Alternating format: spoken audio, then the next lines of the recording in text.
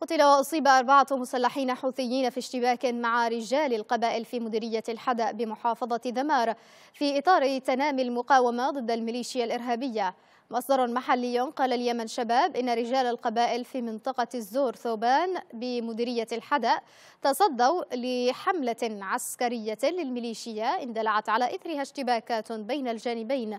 أسفرت عن مقتل اثنين من عناصر الميليشيا وإصابة اثنين آخرين. وردا على ذلك نفذت الميليشيا الحوثية حملة عسكرية تضم عشرين عربة محملة بعشرات الأفراد المدججين بالأسلحة بقيادة المدعو أبو العز البخيتي. واختطفت نحو عشرين من الأهالي بعد مداهمة منازلهم في المنطقة. وتعرف مناطق القبائل في الحداء بمقاومتها لميليشيا الحوثي. إذ تشهد المديرية بين وقت وآخر اشتباكات تنشأ غالبا عقب مداهمات حوثية لقرى في المديرية.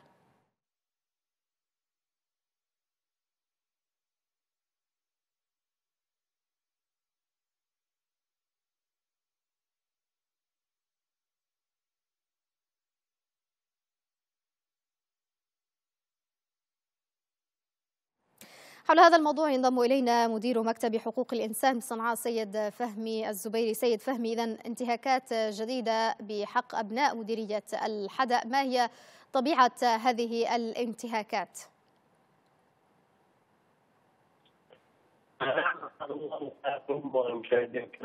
أهلا وسهلا. استمع إلى السؤال جيدا لكن آه، طبعا هذه الحملات آه، هي تقوم بها ميليشيا الحوثي يعني بين الحين والأخرى ضد القبائل اليمنية هي تستطرد بكل قبيلة اليوم آه، على حدة لأن القبيلة اليمنية تشكل تهديدا حقيقيا وخطرا على وجود هذه الميليشيات ولذلك هي تسعى إلى آه، يعني إلى إحداث النزاعات بين القبائل وأيضا من يعني تقوم بحملات الاختطافات ومداهمة المنازل ونهب الممتلكات. بصوره واسعة ليس فقط في مديرية الحداء وانما في معظم المديريات. لأن هناك مخاوف حقيقية من الثورة وانقباض القبائل اليمنية. هذه الميليشيات عليها. ولذلك هي تمعن وتستمر في إذلال اليمنيين. وخاصة أبناء القبائل وليست المرات قاموا بحملات اختطاف ضد العديد من القبائل لكن الملفت بالأمر المقاومه الشعبية المستمرة من قبل أبناء القبائل. هذا مؤشر جيد ومؤشر صحي بأن الجماهير اليمنية والقبائل اليمنية وأبناء الشعب اليمني ما يزالون حتى اللحظة يقاومون هذا المشروع السلالي التابع لإيران وما وما تزال يعني حاضره حتى اليوم. وهذا يؤكد بأنه لا وجود لهذه الميليشيات ولا حاضر لهم ولا حاضنة آه، داخل آه، أبناء اليمن. نعم. ما هو وضع الأهالي حاليا من المختطفين الذين اختطفتهم الميليشيا وإلى أين يمكن أن يكون مصيرهم؟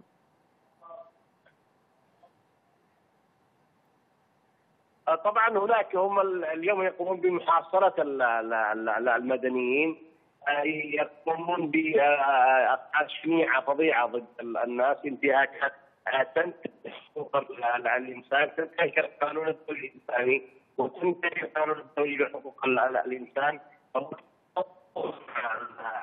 الدستور اليمني والقوانين اليمنية هذه الميليشيات. ما تقوم به وخارج نطاق الدستور وخارج نطاق القانون.